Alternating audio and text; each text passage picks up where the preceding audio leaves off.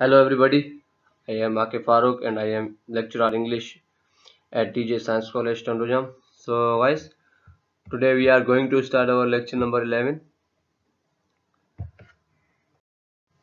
20 minutes with Mrs Wakend up written by Frank Arthur so guys हमारी जो previous video थी, उसमें हमने ये स्टडी किया था कि आदमी जो है पूरा एक्सीडेंट जो है उस औरत को बताता है कि कैसे जो मिसेस जूडी ओकेंडप थी, उसने मेरी बेटी और मेरी बीवी को जो है एक्सीडेंट से कार से जो है मार दिया उसने।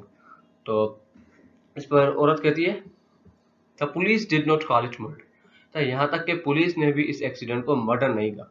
ही आदमी कहता आई कॉल इट मर्डर तो लेकिन मैं इसे मर्डर कहता हूँ। And so do you do you और तुम भी इसे मर्डर कहती हो। In your heart you know it was murder तुम, तुम्हारे दिल में ये जानती हो कि ये एक मर्डर था। What were my wife and child to her तब मेरी बीवी और बच्ची जो थे, उसके क्या लगते थे? एब्सोल्यूट स्ट्रेंजर्स बिल्कुल ही अजनबी थे उसके लिए।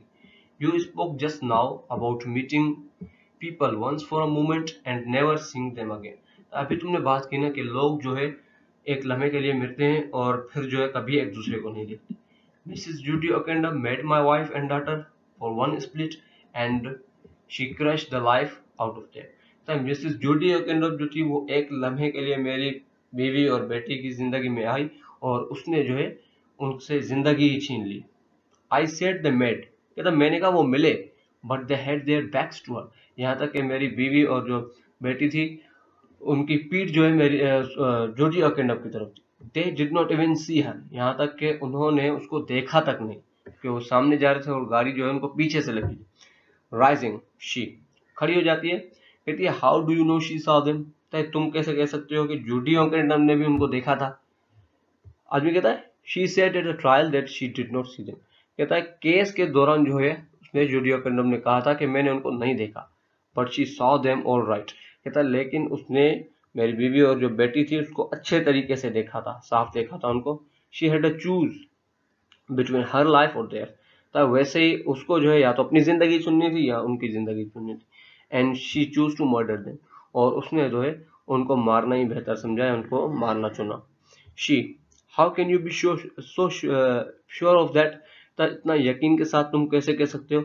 It must have all happened in a flash कहता ये सब चीज़ें जो होगी, ये एक्सीडेंट जो है, वो थोड़े से लम्हे के लिए हुआ होगा एक फ्लैश फ्लैश में हुआ होगा।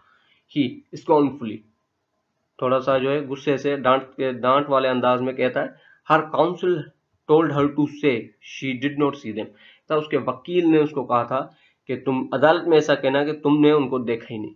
He made a great point of it तब पूरा केस जो है उस आदमी ने बनाया था।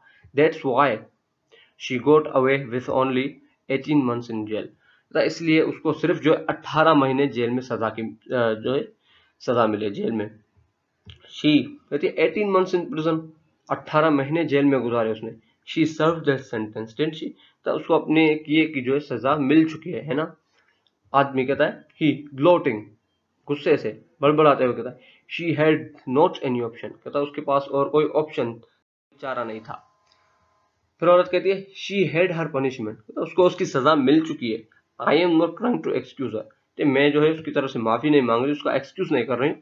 But I am not saying it wasn't criminal folly on her part to drive a seat कहता है, लेकिन जो है, वो बहुत ज़्यादा गाड़ी तेज चला रही थी। उसको जो है हम एक बिल्कुल ही बेवकूफ़ी या जुर्माना बेवकूफ़ी नहीं कह सकते। I am not excusing her दोबारा कहते हैं कि मैं उसकी तरफ़ से कोई माफ़ी नहीं मांग रही but she had her punishment कहती है, मेरे ख्याल से उसको उसकी सज़ा मिल चुकी है। ही शी हैज़ नॉट नहीं, उसको उसकी सज़ा नहीं मिली। Her punishment is coming to her कहता है उसकी सज़ा अब उसको मिलने वाली है। A few months in prison for crushing an innocent woman and child to death कहता है सिर्फ़ कुछ महीने जेल में एक मासूम औरत और एक मासूम बच्चे को चलने के लिए। They stare at each other he bitter she fascinated then he turns away कहता दोनों एक दूसरे की तरफ़ देखते हैं। आदमी काफ़ी गुस्से में होता है और औरत जो है उसको काफ़ी रहमदिली से देखती है। फिर आदमी क्या करता है? देन ही टर्न्स अवे फिर आदमी जो है उससे दूर हो जाता है। She unable to change the subject बात को बदलना चाहती है, लेकिन बदल नहीं पाती। कहती है and when you meet this Mrs Okendam what do you purpose to do तो जब तुम इस मिस ओकेंडम से मिलोगे तो तुम क्या करोगे? ही कालमली उसके करीब आता है और धीरे से कहता है आई शल किलर तो उसको मार दूँगा मैं। ही वाइल्डली शी वाइल्डली थोड़ा सा गुस्से से, ज़ोर से घबरा कर कहती है kill her no you can do that तो मार दोगे उसे? कि नहीं नहीं, तुम ऐसा नहीं कर सकते. He I haven't quite made up my mind now अब जो है, मैं काफ़ी अपना जहन बना चुका हूँ। I want to do in the most painful way और कहता है, मैं उसको बड़ी ही दर्द मंदाना मौत दूँगा.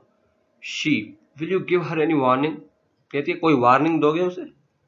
He naturally she will know why she is being punished तो हाँ उसे ये ज़रूर बताऊँगा कि मैं उसे मार सो गाइस यहाँ पर जो है, ये हमारी वीडियो यहाँ पर एंड करते हैं। सो होपफुली आप लोगों को जो है, यहाँ तक स्टोरी समझ में आई होगी। अब बिल्कुल जो है, हमारी लिटिल बिट स्टोरी रह गई है। सो इन द लेस्ट जो नेक्स्ट हमारी वीडियो होगी उसमें हम देखेंगे कि आदमी जो है आया, उसको मारता है या नहीं, तब तक के लिए थैंक यू वेरी मच अल्लाह हाफिज़.